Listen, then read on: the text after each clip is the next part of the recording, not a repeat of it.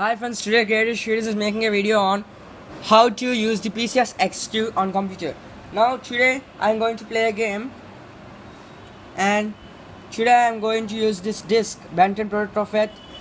Now I will keep it in the disk drive. Now let's go to the laptops to see what happens. Now friends, I have came to the laptop. Now I'm opening the PCSX2 emulator. After opening it, a screen will appear now you have a DVD right now put the DVD in the disk drive and uh, come to the emulator and go to the CDVD and click plugin to on it and plugin menu and go to plugin settings. And after you go to plugin settings my disk drive is F so I, I selected F. If you have any another other you can select them. After go to system and click CDVD fast or anything full or fast if fast means it works uh, nicely and uh, picture quality is better compared to the full.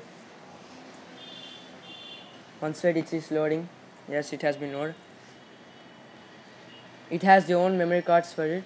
PCSX2 now the game is loading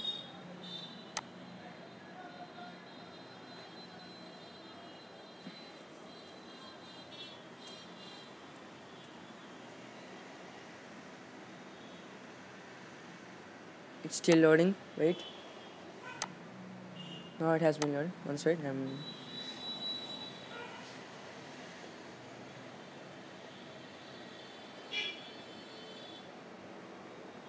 it's still loading. It's the first time I have put in a DVD so it's loading. See it loading.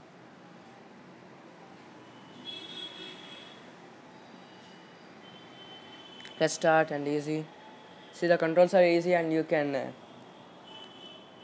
customize the controls to your uses. I didn't customize so I can't play the game exactly the same. See I haven't have the controls uh, the right way so I can't play the game uh, rightly. Sorry for that. And please subscribe like and more. Bye. And after it is over go to system shutdown or exit. It will automatically exit. Okay don't uh, sorry. Please remember to subscribe like and more. Bye